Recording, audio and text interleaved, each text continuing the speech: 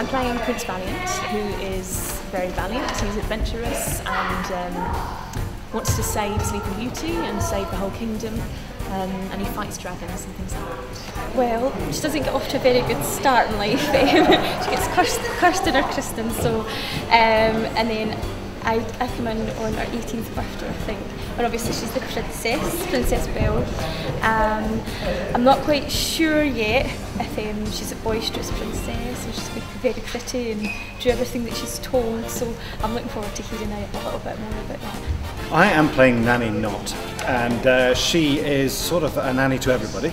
Uh, not only to babies, but also to anybody that she encounters. They get a good squeeze and a hug, and she's like a mother figure to everyone. I'm playing Azurio, which is the good fairy, and um, she is lovely. She likes to get the better of her sister a lot, and she um, she likes to grant wishes. She likes to she likes everything to be nice and the way that it should be.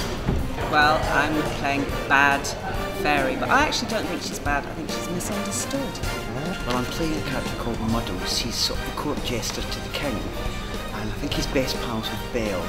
But he's a little, he can be a little bit accident prone, and he means well, but he gets a lot of these words muddled up and um, never quite gets it right. But his heart's in the right place, and um, the kids will love him. Well, I think, I mean, it's, it's a cliche, but I think it's true. A lot of people don't come to the theatre during the year, and certainly as families, they don't come very often, unless it's like one of the big kind of musicals and stuff. Yes. So Panto is a chance for them to all come along as a group and have a laugh. And, and hopefully some of the victims, like dads, uh, get picked by their kids, and kids love seeing their dads made fools of. So uh, we're hoping for a bit of that this year as well.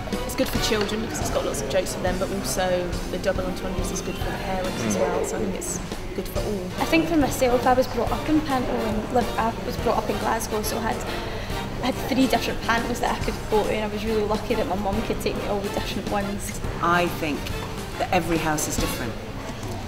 So you never get two shows that are the same because you tend to find when people come together as an audience, they create an identity together very, very quickly.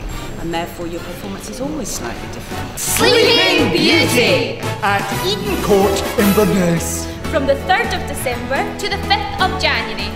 Don't miss it!